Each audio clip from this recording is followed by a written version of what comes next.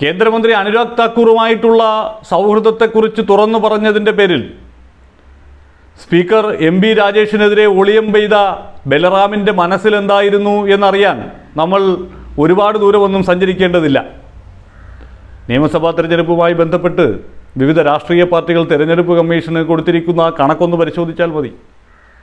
കേരളത്തിൽ കോൺഗ്രസ് ഏറ്റവുമധികം തുക പ്രചരണത്തിന് വേണ്ടി നൽകിയ രണ്ടാമത്തെ സ്ഥാനാർത്ഥിയാണ് വി ടി ബലറാം ഒന്നാമത് നിൽക്കുന്നത് ഇരുപത്തിമൂന്ന് ലക്ഷം രൂപ കിട്ടിയ പാലക്കാട്ട് ത്രിവർ ത്രികോണ പോരാട്ടത്തിൽ വിജയം വരിച്ച ഷാഫി പറമ്പിലാണ്. അത് കഴിഞ്ഞാൽ വി ടി ബലറാമനാണ് ഏകദേശം പത്തൊൻപത് ലക്ഷത്തോളം രൂപ പാർട്ടിയുടെ ഫണ്ടിൽ നിന്ന് വി ടി ബലറാമിന് നൽകി. ഇപ്പോൾ രമേശ് ചെന്നിത്തലയ്ക്ക് പോലും അഞ്ച് ലക്ഷം രൂപയെ പാർട്ടി നൽകിയിട്ടുള്ളൂ. പാർട്ടിയുടെ മുഖ്യമന്ത്രി സ്ഥാനാർത്ഥിയായിരുന്നയാളാണ്. അദ്ദേഹത്തിന് പോലും അത്രയേ നൽകിയിട്ടുള്ളൂ.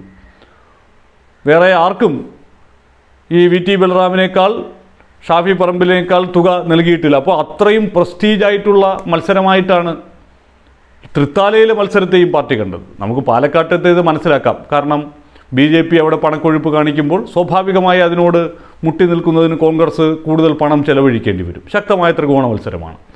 പക്ഷേ തൃത്താലയിൽ അത്രയും പ്രധാനപ്പെട്ട മത്സരമാണ് എന്ന് കോൺഗ്രസ് നേതൃത്വത്തിന് തോന്നി. അപ്പോൾ അത്രയും വലിയ മുത്തായിട്ടാണ് കോൺഗ്രസ് കണക്കാക്കിയിരിക്കുന്നത്. അപ്പോൾ ആ മുത്തിനെയാണ് എം പി രാജേഷ് മൂട് കറക്കി അടിച്ചത്. ഇപ്പോൾ സോഷ്യൽ മീഡിയയിൽ കൂടി വികസന നായകനായി ജനത്തിന്റെ ഹൃദയത്തുടിപ്പുകൾ തൊട്ടറിഞ്ഞ് നടക്കുന്ന ജനപ്രതിനിധിയായിരിക്കുന്ന ബലറാമിനെ തൊട്ട് മുമ്പത്തെ പാർലമെന്റ് തിരഞ്ഞെടുപ്പിൽ വി കെ ശ്രീകണ്ഠനോട് പരാജയപ്പെട്ട എം പി രാജേഷ് തോൽപ്പിക്കുമെന്ന് സ്വപ്നത്തിൽ പോലും വിചാരിച്ചു കാണില്ല. അതുകൊണ്ട് തന്നെ ബലറാമിന് ആ ചൊരുക്ക് വല്ലാതെ അങ്ങനെ കുത്തി കുത്തി കയറും എന്നുള്ള കാര്യത്തിൽ സംശയമില്ല. അതുമാത്രവുമല്ല ഇപ്പോൾ എം പി രാജേഷ് ആണെങ്കിൽ അവിടെ ബലറാം ഈ സോഷ്യൽ മീഡിയയിൽ കൂടി പറഞ്ഞ് പ്രചരിപ്പിച്ചതൊന്നും അല്ല വികസനം എന്നുള്ള കാര്യം പല ഇടപെടലുകളിൽ കൂടിയും ആ നാട്ടുകാർക്ക് ബോധ്യപ്പെടുത്തി കൊടുക്കുന്നുണ്ട്. സ്പീക്കറായിട്ടിരിക്കുമ്പോൾ തന്നെ തന്റെ മണ്ഡലത്തിന്റെ വികസന കാര്യത്തിൽ അതീവമായ ശ്രദ്ധ ചെലുത്തുന്നുണ്ട്. ഇപ്പോൾ സോഷ്യൽ മീഡിയയല്ല ജനങ്ങൾക്കിടയിൽ പ്രവർത്തിക്കുന്നതാണ് ജനസേവനം എന്ന് ബോധ്യപ്പെടുത്താൻ കൂടി രാജേഷിന് സാധിക്കുമ്പോൾ ആ ചൊരുക്ക് വല്ലാതെ അങ്ങ് കൂടും. അപ്പോൾ പിന്നെ എന്തെങ്കിലുമൊക്കെ കാരണങ്ങൾ കണ്ടെത്തി അത് പറയുകയും ചെയ്യും. ഇപ്പോൾ എം ബി രാജേഷ് ഒരു അഭിമുഖത്തിനിടയിൽ പി ടി ബലറാമുമായി മത്സരിക്കുമ്പോഴും സൗഹൃദമില്ല അതിന് മുമ്പുമില്ല അതിന് ശേഷവുമില്ല എന്നുള്ള യാഥാർത്ഥ്യം പറഞ്ഞു. പക്ഷേ വി കെ ശ്രീകണ്ഠനുമായി നല്ല സൗഹൃദമാണ് എന്ന് പറഞ്ഞു.